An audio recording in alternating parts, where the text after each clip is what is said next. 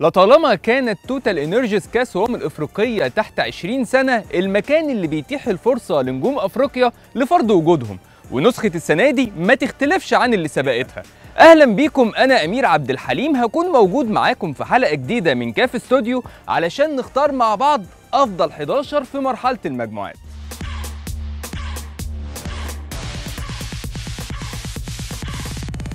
البداية بين الثلاث خشبات وحارس المرمى. معانا حارس منتخب السنغال لاندنج بادجي اللي ساعد منتخب بلاده في تصدر المجموعة الأولى وحافظ على نظافة شباكه في ثلاث ماتشات. قائد خط الدفاع نجم منتخب جامبيا الحاج سيني الحاج سيني سجل جولين للعقارب ضد منتخب تونس ومنتخب زامبيا علشان يفوز بجائزة TotalEnergies رجل المباراة في الماتشين. وكمان ساهم في فوز منتخب جامبيا على جنوب السودان في ربع النهائي وضمان تأهل منتخب جامبيا لكأس العالم في إندونيسيا. الاسم الثاني في خط الدفاع نجم منتخب أوغندا روجر توراخ قدم مستوى كويس جدا مع منتخب أوغندا في مرحلة المجموعات علشان يضمن تواجده ضمن تشكيل الأفضل. على الناحية الشمال بقى عندنا لعيب قوي جدا دفاعيا ومميز جدا هجوميا لدرجة إنه سجل في منتخب مصر برأسية مبهرة. سولومون أكبلاكا نجم منتخب نيجيريا ساهم في تأهل بلاده لربع النهائي وكمان ساهم في الفوز على أوغندا بشباك نظيفة. آخر اسم في خط الدفاع على اليمين رشيد موميني. نجم منتخب بنين أثبت في مرحلة المجموعات إنه ظهير أيمن صعب جدا تجاوزه. أول لعيب في خط الوسط مامادو كمارا السنغالي بيحمي خط الدفاع. لعيب خط وسط ارتكاز دفاعي ديناميكي قادر على قطع الكرات وفي نفس الوقت طاقته ما بتنتهيش. مستوى كمارا مع السنغال ما ينفعش خالص حد ما يلاحظوش. بيزامله بقى في خط الوسط زميله في منتخب السنغال بابا ديوب. بابا ديوب سجل في موزمبيق جول وبعد كده سجل هاتريك بالراس في الشوط الثاني في منتخب مصر. علشان يكون أول لعيب يسجل أربع أهداف في مرحلة المجموعات من 2017 لما عملها لوثر سينج مع منتخب جنوب أفريقيا. ولإكمال ثلاثي خط الوسط بقى معانا برنس سوسو من منتخب الكونغو.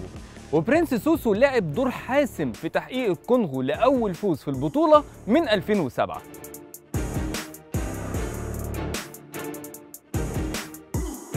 أول اسم في خط الهجوم هو السنغالي بابي ديالو. بابي ديالو كان هداف منتخب السنغال في التتويج بكأس الأمم الأفريقية للمحليين في الجزائر. بعد البطولة خد شنطته وطلع على مصر وانضم لمنتخب السنغال تحت 20 سنة.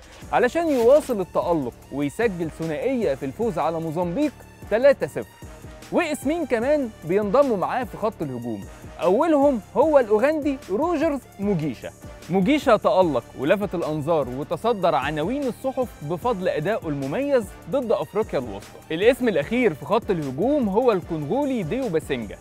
باسينجا قدم أداء لا ينسى ضد جنوب السودان علشان يفوز بجائزة TotalEnergies رجل المباراة.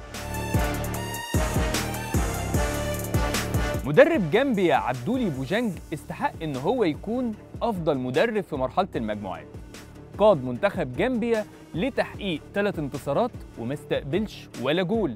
وبعد كده فاز على جنوب السودان في ربع النهائي علشان منتخب جامبيا يتأهل لكأس العالم للمرة الثانية في تاريخه والأول مرة من سنة 2007 بعد ما كانوا تأهلوا لبطولة 2021 بس وقتها اتلغت البطولة.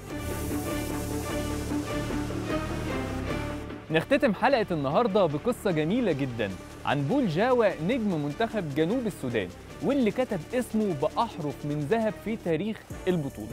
جاوا سجل أول جول لمنتخب جنوب السودان في أول مشاركة ليهم في البطولة وكان في مرمى منتخب الكونغو وبعد كده واصل تألقه ومهد الطريق لمنتخب جنوب السودان علشان يحقق أول انتصار ليهم في البطولة لما سجل هدف الفوز الوحيد في أفريقيا الوسطى. وبكده تكون خلصت حلقتنا من كاف استوديو تتوقعوا مين هيكون TotalEnergies أفضل لاعب في البطولة. أشوفكم في حلقة جديدة. سلام.